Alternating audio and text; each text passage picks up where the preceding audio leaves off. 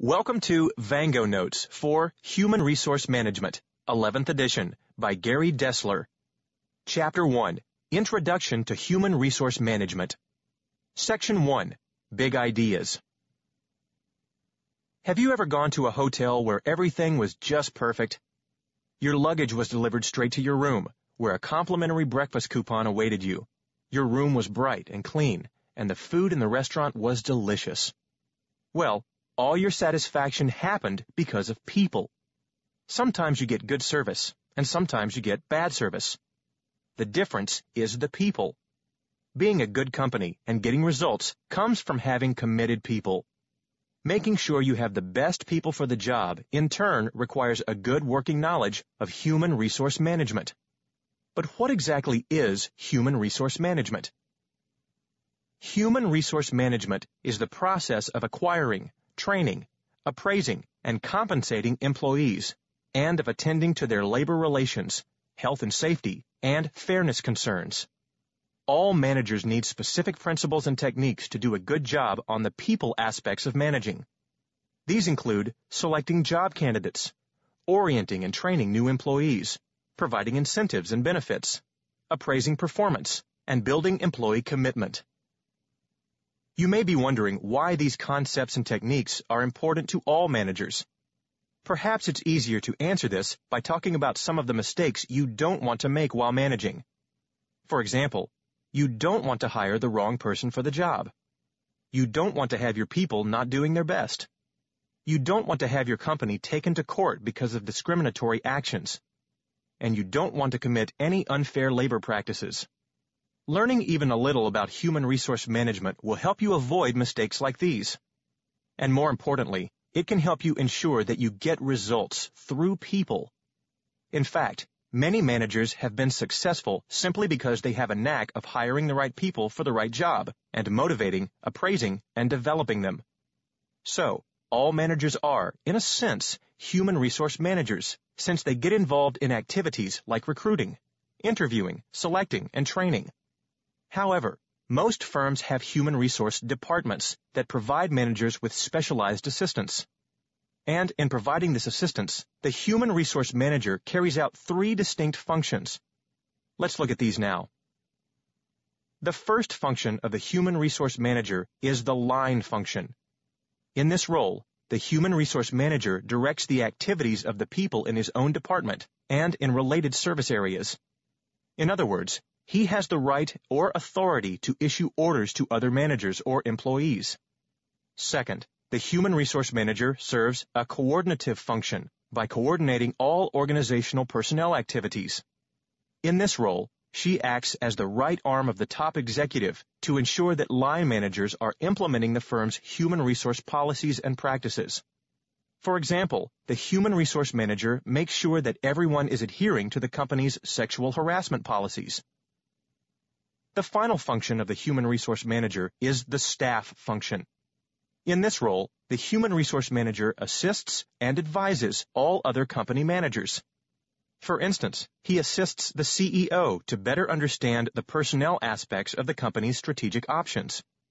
The Human Resource Department also assists in hiring, training, evaluating, rewarding, counseling, promoting, and firing employees.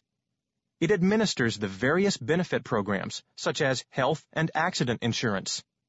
It helps line managers comply with equal opportunity and occupational safety laws, and plays an important role in handling grievances and labor relations. So, the Human Resource Department is obviously very busy, more so today than ever before, as human resource managers play an increasingly central role in managing companies. Let's see how. More companies are expanding abroad in order to increase their sales, reduce labor costs, and seek new foreign products and services to sell. More globalization means more competition, and more competition means more pressure to lower costs, to make employees more productive, and to do things better and less expensively. So both workers and companies have to work harder and smarter than they did before globalization. Human resource management can help both workers and companies do this. Technology has also had a huge impact on how people work and on the sorts of skills and training today's workers need. more and more traditional factory jobs are going high tech.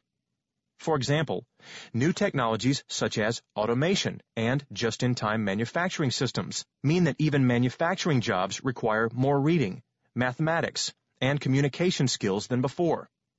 Because it's the human resource function that traditionally recruits, selects, trains, and compensates employees, changes like these make employers highly reliant on human resource management you see, the key to utilizing all that new technology is usually not the technology, but again, the people. And managers must select, train, and pay these people in a way that focuses on improving their skills and knowledge. Along with globalization and technology, trends in workforce demographics are making finding and hiring good employees more of a challenge. Most notably, the United States workforce is becoming older and more multi-ethnic. As the baby boomers, born between 1946 and 1960, start retiring in the next few years, employers will face a severe labor shortage. And the labor force participation rates of women and minorities have continued to increase, creating a more diverse workforce. So, employers will remain focused on the aging of the workforce, the growing numbers of workers with elder care responsibilities, and higher rates of immigration. What does all this mean for human resource management? With these trends, the human resource manager's job has grown broader and more strategic. In the earliest firms, personnel first took over hiring and firing from supervisors, ran the payroll department, and administered benefit plans. As technology in areas like testing and interviewing began to emerge, the personnel department began to play an expanded role in employee selection, training, and promotion. The emergence of union legislation in the 1930s added protecting the firm in its interaction with unions to the personnel department's responsibilities. Then, as new equal employment legislation created the potential for discrimination-related lawsuits and penalties, the advice and oversight of human resource professionals became indispensable. Today, globalization, technology, and the trends we've talked about mean that human resource managers have taken on many new responsibilities Getting results through committed people is the name of the game, and to do this requires a good working knowledge of human resource management concepts and techniques. That's the end of this section. Section 2, Practice Questions. Okay, now that we've reviewed the chapter, let's see how much you've retained. I'll give you a series of multiple choice, true false, and essay questions to think about. After a few seconds for each, I'll give you the correct answer and an explanation. Let's start with multiple choice. Ready? Question 1. The management process includes the five basic functions of planning, organizing, staffing, leading, and A. Controlling, or B. Training. The answer is A. The controlling function includes setting standards such as sales quotas or production levels, comparing actual performance with these standards, and then taking corrective action if needed. Question 2. Examples of human resource management concepts and techniques include selecting job candidates, appraising performance, and A. Establishing channels of authority, or B. Orienting and training new employees. The answer is B. Orienting and training new employees means providing them with the necessary information and skills so they can become productive members of the organization. Question 3. Human resource management includes many specialists such as recruiters, job analysts, training specialists, and A. Labor relations specialists or B. Staff managers. The answer is A. Labor relations specialists advise management on all aspects of union management relations. Question 4. Companies may choose to expand abroad in order to expand sales, cut labor costs, or A. form partnerships, or B. reduce product lines. The answer is A. Sometimes it's the prospect of forming partnerships that drives firms to do business with firms abroad. For example, several years ago, IBM sold its PC division to the Chinese firm Lenovo in order to create firmer ties with the booming Chinese market. Okay, let's try a few true-false questions. Question 5. Due to shifts in the U.S. birth rate, there are fewer people in the workforce to replace the retiring baby boomers. True or false? The answer is true. In fact, about 11% fewer people were born in the United States between 1966 and 1985 than were born in the 20 years after World War II. This reduced birth rate means fewer workers to replace the exiting baby boomers. Question 6. Top managers typically design and execute their company strategies without really considering human resources. True or false? The answer is false. Strategic human resource planning is part of strategic planning. Top management wants to see precisely how the human resource manager's plans will make the company more valuable. For instance, by boosting employee skill levels and thus improving performance. Question 7. Recent research suggests that the best performing companies in a wide range of industries perform so well partly because of their high performance work systems. True or false? The answer is true. For instance, high-performance work systems produce more qualified applicants per position, more employees hired based on validated selection tests, more hours of training for new employees, and a higher percentage of employees receiving regular performance appraisals. Question 8. It is usually difficult to link most human resource management activities to their impact on company performance. True or false? The answer is false. For most human resource management activities, you can map out the cause and effect links from human resource activity to employee behavior to company performance. For example, at a hotel, an increased use of incentive plans may lead to improved employee customer service ratings, which will lead to more satisfied hotel guests and ultimately improved hotel profits. How are you doing so far? Ready for some short essay questions? Okay, here's the first of two. Question 9. What are the four categories of human resource managers' proficiencies? The four categories of human resource managers' proficiencies are human resource proficiencies, business proficiencies, leadership proficiencies, and learning proficiencies. Last one, question 10. Name the three distinct human resource management functions. The three distinct human resource management functions are the line function, the coordinative function, and the staff function. These three functions help the human resource manager provide specialized assistance and knowledge to the organizational managers. That's the end of this section. Section 3, Key Terms.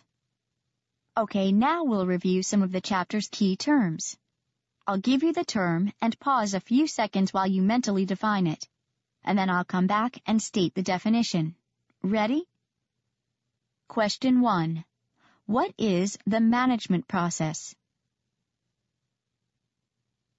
The management process consists of the five basic functions of planning, organizing, staffing, leading, and controlling. Question 2. What is authority? Authority is the right to make decisions, direct others' work, and give orders. Question 3. What is a line manager? A line manager is a manager who is authorized to direct the work of subordinates and is responsible for accomplishing the organization's tasks. Line managers have line authority. Question 4. What is the Human Resource Management Employee Advocacy role? The Human Resource Management Employee Advocacy role gives the department responsibility for clearly defining how management should be treating employees, making sure employees have the mechanisms required to contest unfair practices, and representing the interest of employees within the framework of its primary obligation to senior management. Question 5. Who are non-traditional workers? Non-traditional workers are workers who either hold multiple jobs or who are contingent or part-time workers or people working in alternative work arrangements. Question 6. What is human capital? Human capital is the education, training, skills, and expertise of a firm's workers. Question 7. What is the HR scorecard? The HR scorecard measures the human resource function's effectiveness and efficiency in producing the employee behaviors needed to achieve the company's strategic goals. Question 8. What are metrics? Metrics are a set of quantitative performance measures that human resource managers use to assess their operations. Question 9. What is a high-performance work system? A high-performance work system is an integrated set of human resource management policies and practices that produce superior employee performance. It typically includes employment security, selective hiring, extensive training, and emphasis on high-quality work. Last one, question 10. What is job outsourcing? Job outsourcing lets outside vendors perform work. For example, one form of job outsourcing is the movement of jobs previously performed by U.S. workers to workers abroad. That's the end of this section. Section 4, Rapid Review. Are you ready for the exam? Let's see. In this section, I'll give you a question and pause for just a few seconds before giving you the answer. Ready? Question 1. What is human resource management? Human resource management includes the policies and practices needed to carry out the people or human resource aspects of a management position, including recruiting, screening, training, rewarding, and appraising. Question 2. What is line authority? Line authority gives managers the right or authority to issue orders to other managers or employees. Question 3. What is strategy? Strategy is the company's long-term plan for how it will balance its internal strengths and weaknesses with its external opportunities and threats to maintain a competitive advantage. Question 4. What are the three major changes or trends affecting today's human resource management practices? The three major changes or trends affecting today's human resource management practices are globalization, changes in the nature of work, and technology. Question 5. What is globalization? Globalization is the tendency of firms to extend their sales, ownership, and or manufacturing to new markets abroad. Question 6. What are some of the current trends in the nature of work? Some of the trends in the nature of work today include an increase in high-tech jobs, an increase in the number of service jobs, and an increase in knowledge work and an emphasis on human capital. Question 7. What is strategic human resource management? Strategic human resource management means formulating and executing human resource policies and practices that produce the employees' competencies and behaviors the company needs to achieve its strategic aims. Question 8. What are the three ways in which human resource management practices can improve performance? Human resource management practices can improve performance through the use of technology, through effective human resource practices, and by instituting high performance work systems. Question 9. Define ethics. Ethics refers to the standards someone uses to decide what her conduct should be. Last one, question 10. What is the purpose of human resource certification? The purpose of human resource certification is to test human resource professionals' knowledge of all aspects of human resource management, including management practices, staffing, development, compensation, labor relations, and health and safety. That's the end of this section. This concludes the Vango notes for this chapter. We hope you found this audio review helpful. Be sure to check out other Vango notes for textbooks published by Pearson Education. Audible hopes you have